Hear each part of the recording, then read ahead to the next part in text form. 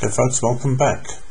We are going to look and just remind you about words that we've used in the function chapter of the book. And that's the word bijection, uh, injective, surjective. Okay, so if you want to go through it in the book and look at the definitions that we used in the book, just to make sure there's lovely pictures of it in there as well, so that you can make sure that you understand the language we're going to use in graph theory because this is where it comes into play. So what is a bijection? Well, in mathematics, a bijection or a bijective function is a one-to-one -one correspondence. So it's an invertible function. For a function to have an inverse in maths, it has to be a one-to-one -one function. Okay. Each element of one set is paired with exactly one element in the other set. That makes a bijection. And each element of the other set is paired also with exactly each element in the first set. There is no unpaired elements for something to be a bijection in that particular picture. In mathematical terms, a bijective function is a rule f that map maps x onto y over there.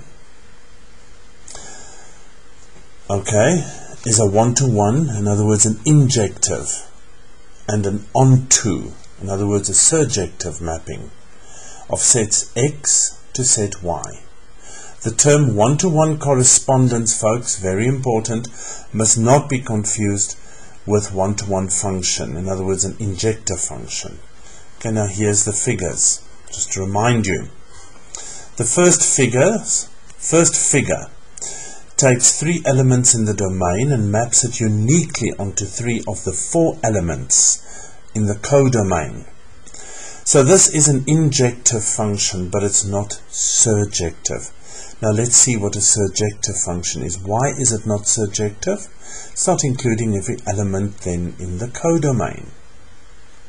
Okay, so it's not a bijection. This is a bijection. Every element in the domain, you can see where I got this from there, you can go to Wikipedia and look at these, are mapped onto an element in the codomain. Okay? So that is an injective surjective function. In other words, it's a bijection. It's both. Bi means two. Not injective over here. Why is it not injective? Because there's two elements in the domain that maps onto the codomain. Okay? This is a surjection, but it's not a bijection because it's not injective. Now here we have four elements in the codomain. So this is not one of the two. It's not an injective function, nor is it a surjective function. So it can't be called a bijection.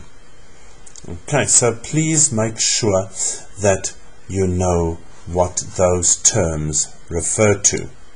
So let's return to the book and let's have a look at what it says. Let me just get rid of that. Here we have the definition for isomorphic graphs. An isomorphism between two graphs, G1 and G2, is a bijection so in other words, it's a one-to-one -one mapping. Each element in the domain maps onto an element in the codomain. Okay? Represented by the rule F, which maps the vertex set 1 onto the vertex set 2 between the vertices of the graphs, such that if AB is an edge of G1, then f of A and f of B is an edge of G2. Okay, very important. We're going to look at a more detailed definition after we've looked at this definition. And we're going to work with this idea um, in a few examples. So, two graphs are called isomorphic if there's an isomorphism between them. And in this case, we write G1 is isomorphic to G2, meaning graph 1 and graph 2 are isomorphic graphs.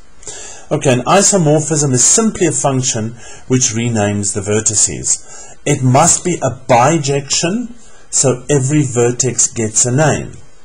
These newly named vertices must be collected by edges precisely if they were connected um, by edges with their old names. Important, very important there. So I'm going to bring in an alternative definition at this point. Okay folks, here is our alternative definition for an isomorphism. Okay between two graphs. So we're going to say let G1 graph 1 be defined by the vertex set 1 and the edge set 1 and we're going to define G2 by calling it vertex set 2 and edge set 2 so these two are two graphs with separate vertex, vertex sets. Let me just use my other pen. So we say that G1 is isomorphic to G2. Okay, we read this. G1 isomorphic to G2 if and only if. Okay, now you'll see we're using a lot of discrete mathematical language. If and only if there exists a rule F which maps vertex set 1 onto vertex set 2 okay where the following two conditions have been met. Condition 1 is f is bijective.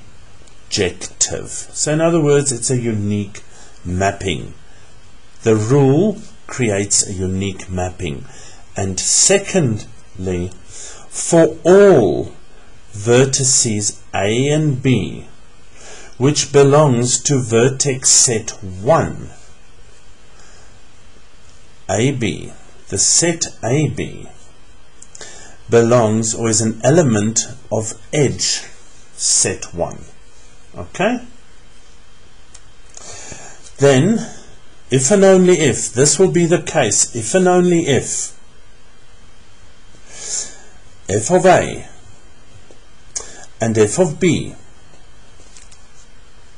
is an edge uh, in graph number 2 so it belongs to the edge set 2 so let's just read through this and try and make sense of what it's saying.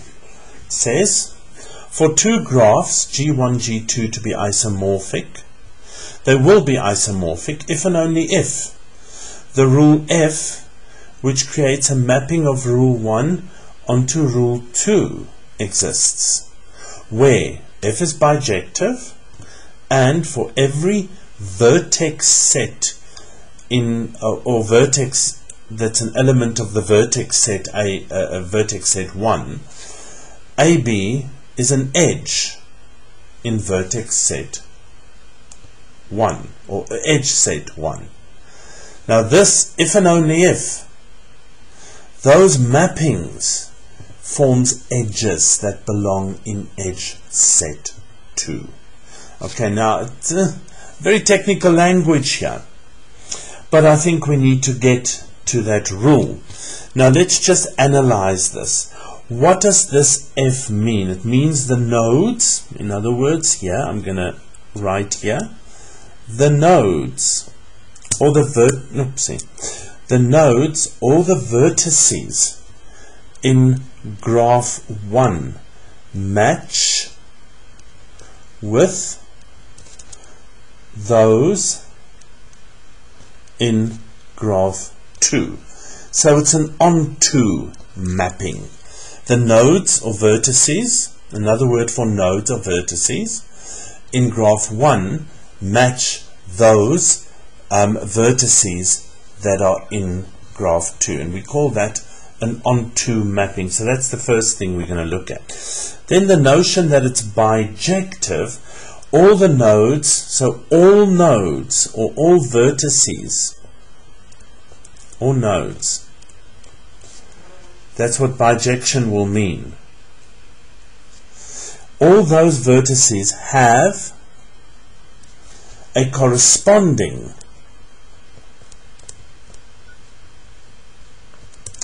node or vertex in the second graph. So that works both ways. So all the vertices v1 must have a vertex v2 in the second graph or the other way around. Okay. Now, our condition here is if there is an edge in the first graph, that edge has to be in the second graph as well. That's basically what the second condition means.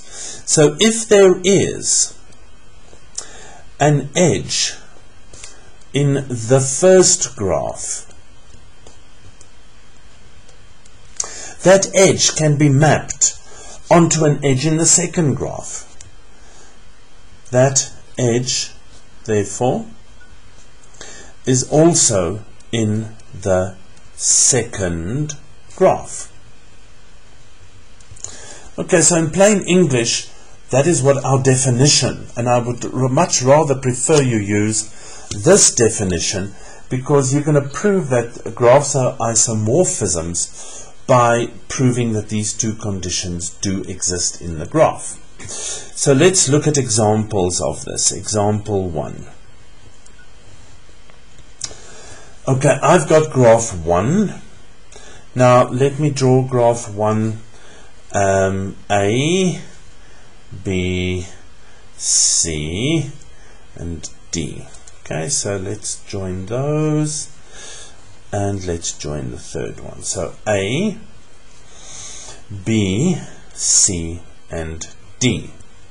We're going to call this edge 1. Let me use another color. Edge 1. We're going to call this edge 2, H3, and edge 4. And what are we doing? Well, in graph 2, we're going to look for mappings. Are those things the same in the 2? Now, the second graph, we're going to draw a little bit differently. It looks different. Okay, so we've got the three vertices. Make your vertices always very clear. So this is vertex X, this is vertex Y, this is vertex Z, that's vertex W. Okay, so the question is, is this isomorphic or not? Okay, so let's have a look. Let's look at the first um, condition. For condition 1, we're now trying to see are these two graphs isomorphic or are they not isomorphic? Okay, so what do we need to do? We need to see that f is bijective. The vertices map onto one another. Okay, so if I look at the mapping of vertex A, vertex A has three edges that goes into it. The only vertex in graph 2 that that happens to is vertex X, so there's definitely a mapping there. Let's look at B. Vertex B has two vertices or two edges running in or out depending on how you look at it. Now in the other graph there's two of those that that happens to. There's Y and there's Z. So we can choose any one of the two. So let's say this one maps onto Y. We go to vertex or to the mapping of vertex C. Okay, remember, what does F do? It maps the vertices in 1 onto the vertices in 2. So we're looking at the structure of the two graphs. Will it be the same? So FC then will map onto Z over here. Because C has two edges, Z has two edges. Okay, so let's have a look then at the last one. What happens with vertex D in graph 1? Well, D has one edge coming into it. Later on we're going to refer to that as the degree of the vertex or the degree of the node or the valence of the node. But that's still coming, that language. Okay, so there's one edge going into it. So D definitely just maps onto W. So did we pass the first condition? Definitely we did. Okay, so let us look at the second condition,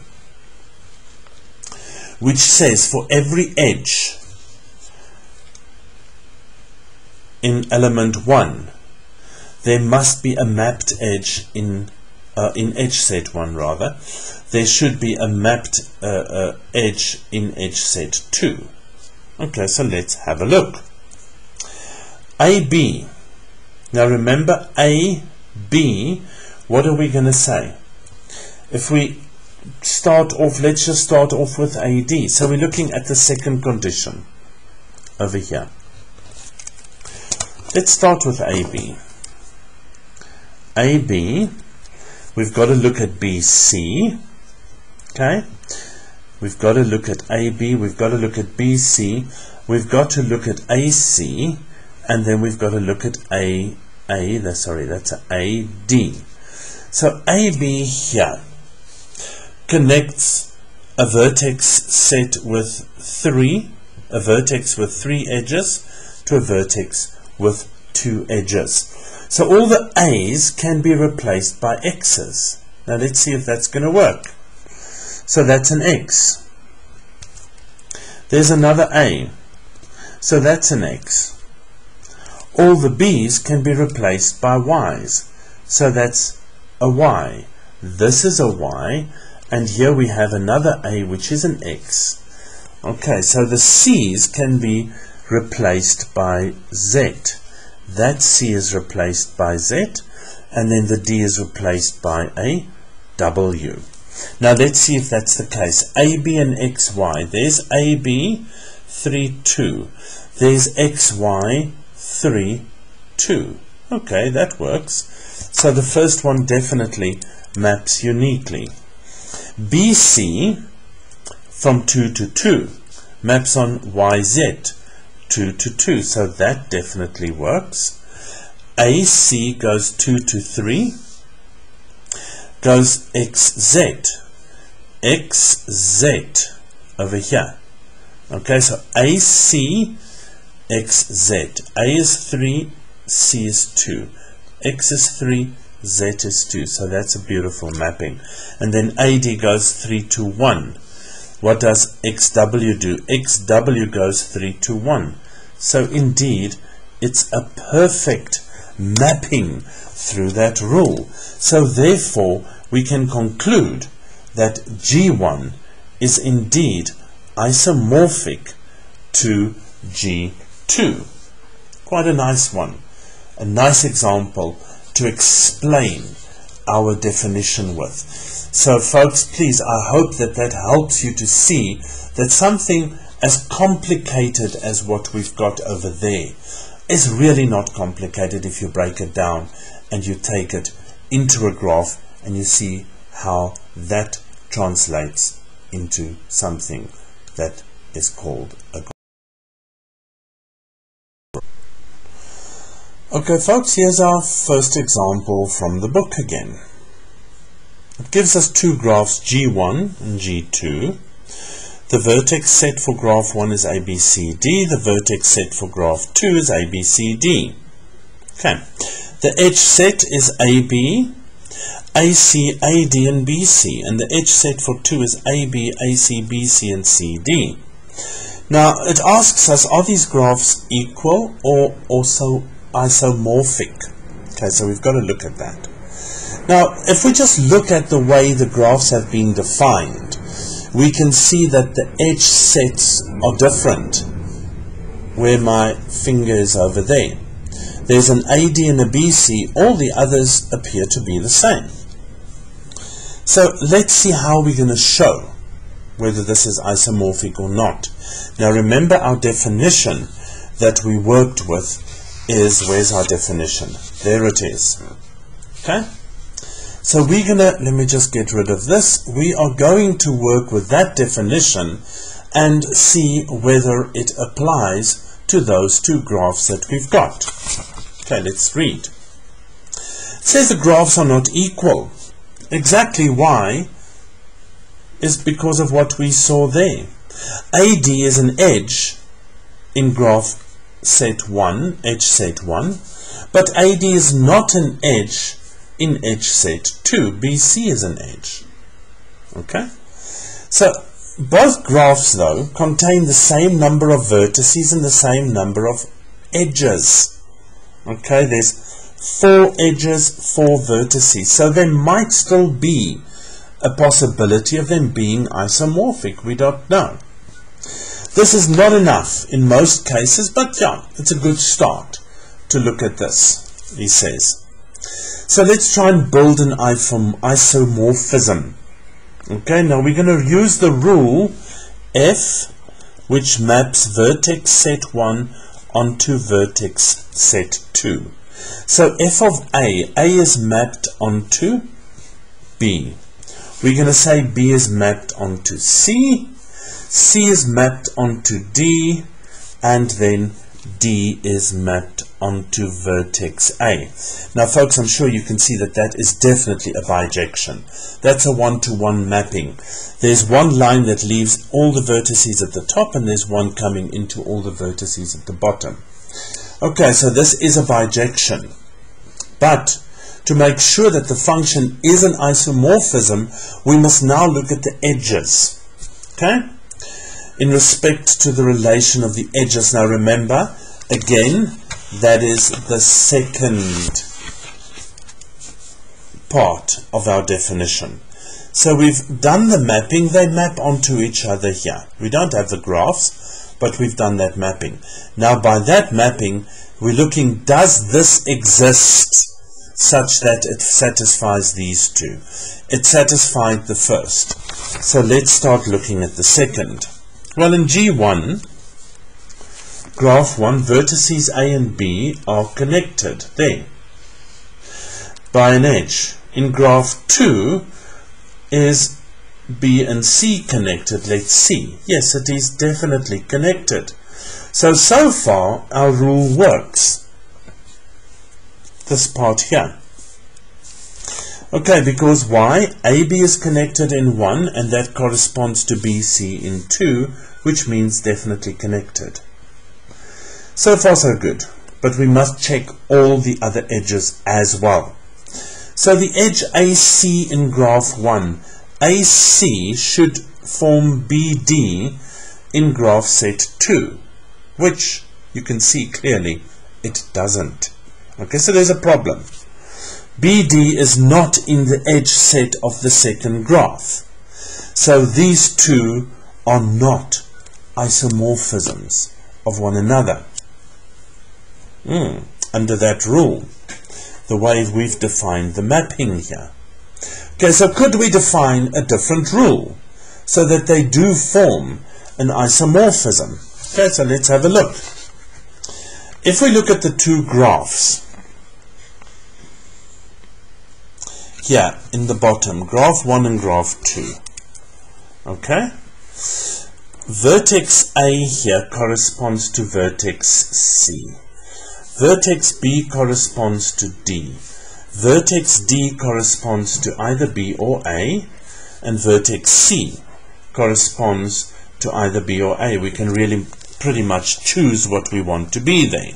What we want uh, to map onto one another. Okay, so we've seen so far that we've drawn these two graphs um, that we have over there and we are now going to see can we create another rule G that causes an that, that confirms an isomorphism. Okay folks, so I've redrawn that graphs and we're going to see how we can define those mappings. Now remember, where's my definition? There's our definition we are going to in going in search of a rule f that maps the vertices in 1 onto the vertices in 2. If there is such a rule that exists, then it's, it should be a bijective rule, and then the edges should also map onto one another. So let's have a look. Is there an isomorphism? So for the first one, we're going to say, we're going to define this as rule G. So G of vertex A. Vertex A has three edges. The only one on the other side that has that is C. So we're going to call it C. It maps onto C. G of B. Is there a vertex here with one edge? Definitely it's D. Then we go to G of C. Two edges. Well, there's B or there's A. We can go for any one of the two. So let's go for vertex G of C here and let's call that A. Okay, we call, could have called it B, it doesn't matter. As long as the number of edges it goes into it maps. And then the last one is G of D. Okay, so D will then map which one did we not use onto B. Okay, so there's a good mapping in terms of the bijective, um, the vertices itself. So definitely that rule is bijective it maps 1 onto 1 in the second graph. Now for the edge sets. Well, we've got set A, let's start with AB. Then let's go to AD. Let's go to DC. And then finally AC at the end. Now we've already shown this mapping so all the A's can be replaced by C's. There we go.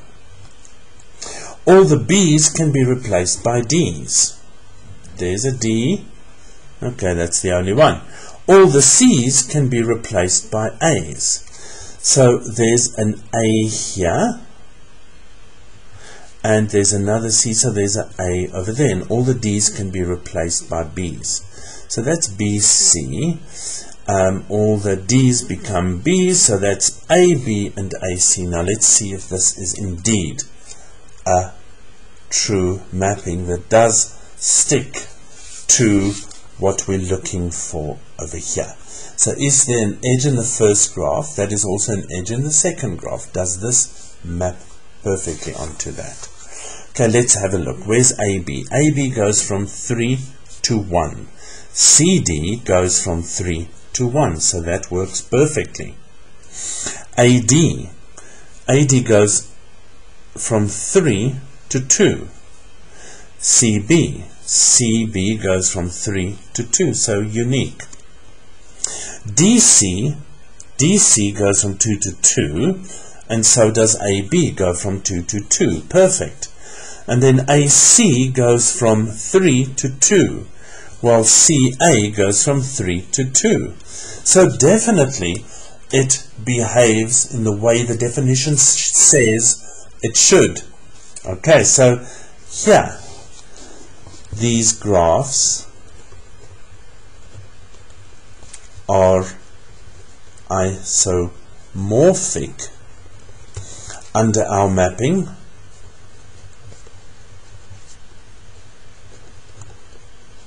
rule that we created. G. Now remember, it, it, it's, it's based on exactly the previous example. It's the same example in your book, folks.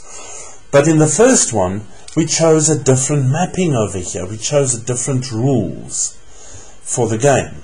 Okay, and we saw, but hang on, under that mapping, there is no isomorphism there. So we looked at a different mapping. So what I'm trying to say to you here, and what this example shows beautifully, is for you to be able to work with this very economically. Look at the definition. Draw the graph. Take the information that they've given you about the graph, draw the two graphs, and from that create your rule. Is there a rule that exists that maps a three um, valenced vertex with another three valenced vertex over here in the second graph and you do the same for the others and then you see do the edges indeed map as well. Okay so that is our first discussion on isomorphism. Um, in the third video we'll continue discussing our graph theory. Remember to like the video and to subscribe to my channel